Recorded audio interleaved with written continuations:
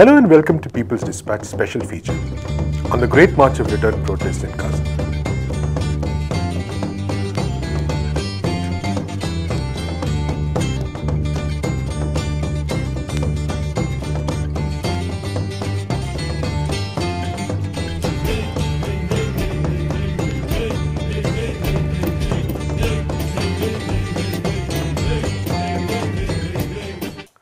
The 30th of March 2019 was the first anniversary of these protests, one of the most momentous acts of resistance in this decade. For one whole year, tens and thousands of Gazans have been protesting every Friday against Israeli occupation. This is despite barbaric violence by Israeli forces.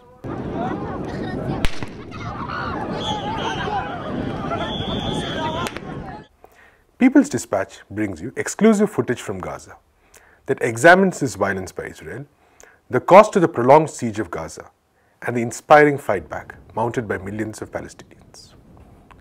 In the latest protests on March 30th, four persons were killed and over 205 injured due to Israeli firing.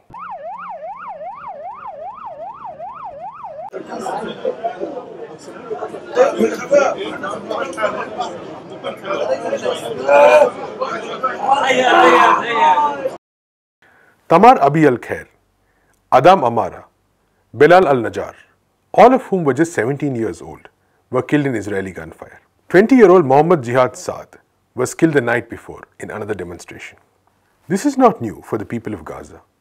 However, this has not dented their spirit, and they continue to march to the borders in large numbers. We spoke to Arij Ashkar, a member of the Great March of Return Committee of Women, on popular participation in the protests.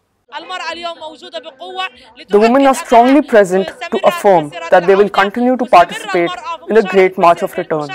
The participation of the women in the five sites of the protest gives strength to the entire Palestinian society.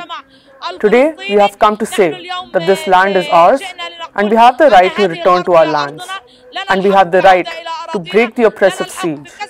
We have come today in a peaceful demonstration to affirm that the choice of the Palestinian people is to defend their rights and to defend the homeland. The Great March of Return called for the right to return of the descendants of nearly 750,000 people who were expelled from their homes in 1948 in what is known as the Nakba or the catastrophe during the formation of Israel. The protests also condemned the decision of US President Donald Trump to shift the US Embassy in Israel to the city of Jerusalem and the blockade of Gaza by Israel, aided by Egypt. From March 30, 2018, tens of thousands of people marched every week to the Gaza Israel border in one of the largest acts of resistance in human history. Israel's response was brutal. Snipers positioned on the Israeli side of the border targeted the protesters, including women, children, medics, and journalists. Tanks and artillery installations also fired at the protesters. Over the course of a year, 266 Gazans were killed, including 50 children and 6 women. Nearly 30,400 were injured, of whom 7,000 were wounded by live bullets. One of the worst instances of violence was on May 14th, which marked the anniversary of the Nakba. It was also the day when the US Embassy was shifted to Jerusalem. Around 60 people were massacred and more than 1,100 injured in one day alone. A recent report by the United Nations Independent Commission of Inquiry found that Israel's response to the Great March of Return could amount to war crimes or crimes against humanity. The report said that Israeli snipers intentionally targeted and killed unarmed civilians. Among the more brutal manifestations of Israeli violence was the use of butterfly bullets, which expand on impact. As of May last year, 20 Palestinians had their legs amputated due to the use of these weapons. These bullets are banned under the Hague Declaration of 1899. Israeli snipers have also targeted journalists and medics despite them wearing jackets which indicate their profession. Two journalists have been killed and 347 injured over the course of a year. Similarly, three medical professionals have been killed and 665 injured during the Great March of Return protests. The Israeli forces have also targeted medical infrastructure. As many as 112 ambulances have been partially destroyed due to firing. Despite the cruelty, the Palestinians are defiant. In the face of brutal fire, the medics have unflinchingly done their duty, saving thousands of lives. We spoke to Abu Ashraf Ukal, a medic with the Ministry of Health, to know about the situation on the ground. عمل انساني بحت الصعوبات اللي بتواجهنا طبعا We are engaged in humanitarian work in the midst of the Great March of Return and in breaking the siege. There are many difficulties that we face in the field. We are the first to reach the injured. As humanitarian crew working in the field, we should be under the protection of a number of international laws. There are fears and difficulties that we face while working in the field. We might be directly targeted when we go to the injured. Many of the ambulances have been targeted directly by tear bombs, live bullets, or missiles. A number of our own ambulances have been targeted. There is a violation of the rights of medical and relief workers in the field.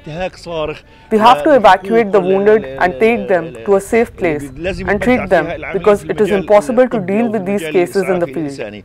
The wounded have to be taken to an area which we are sure won't be targeted so that we can start the treatment. We have been targeted and we have suffered injuries. Our ambulances have been targeted by direct shelling. But this is our duty even if our lives are exposed to danger. At the end, the demonstrations are peaceful, demanding legitimate rights that are part of all the international forums. We are part of this people, so we may be exposed to injuries like the ordinary citizen.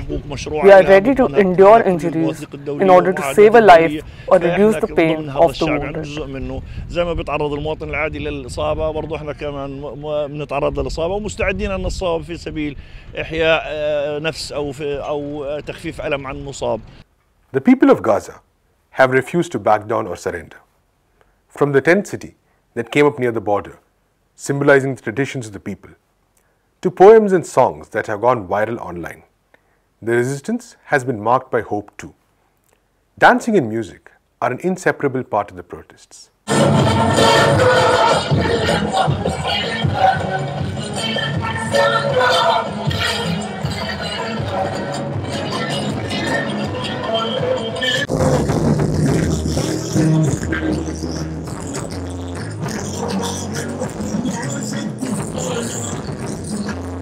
A unique feature of the protests has been the participation of all sections of society, including women and children. The people of Gaza are determined to take the struggle into their own hands.